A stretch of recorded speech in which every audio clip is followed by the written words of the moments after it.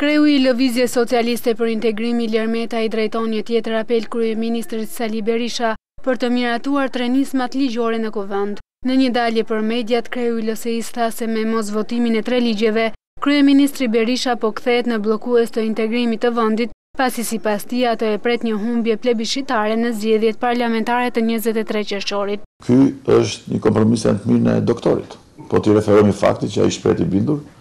në fitore, atëherë i merr tre ligjet tani dhe i zbaton në shtator. Ne nuk e kuptojmë pse po vonohet për konkretizimin e këtij hapi madhor për perspektivën e integrimit europian të Shqipërisë. Këtu kemi të bëjmë me kompromis, këtu s'kemi të bëjmë me asnjë lloj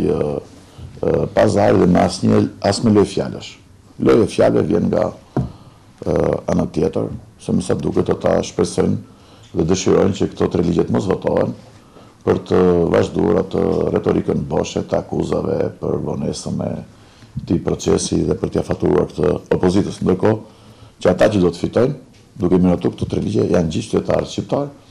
është kredibiliteti i Shqipërisë në raport me partnerët tanë europianë dhe amerikanë. Vetëm pak minuta më vonë, kryeministri Berisha gjatë çeljes së fushatës elektorale në qytetin e Kukësit, lajmëroi se të hënën e ardhshme do të mblidhet parlamenti për të miratuar tre nismat ligjore. Por megjithëse u kujdes të njoftojë edhe orën katërmbëdhjetë për mbledhjen e parlamentit, kreu i ekzekutivit vendosi një kusht për të majtën, miratimin e një amnistie për biznesin nga viti dy mijë e njëmbëdhjetë e deri më sot. Nga qyteti i Kukësit informoj shqiptarët se ditën e hënë do mblidhet parlamenti shqiptar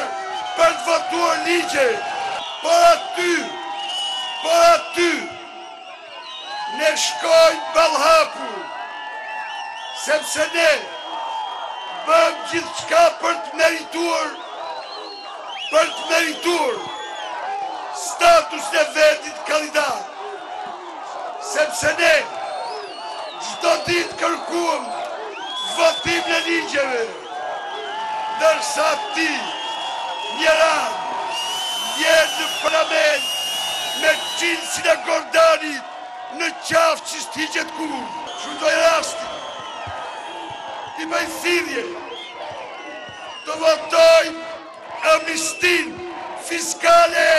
nga viti një mijë e dy mijë e njëmbëdhjetë gjer sot për të gjithë shqiptarët. Mbledhja e seancës parlamentare ditën e hënë është e dyshimtë, pasi Kushtetuta e përcakton qartë se tridhjetë ditë nga mbajtja e zgjedhjeve të përgjithshme shpërndahet Kuvendi, ndërsa propozimi i kryeministrit Berisha për këtë të hënë e kapërcen kufirin ligjor.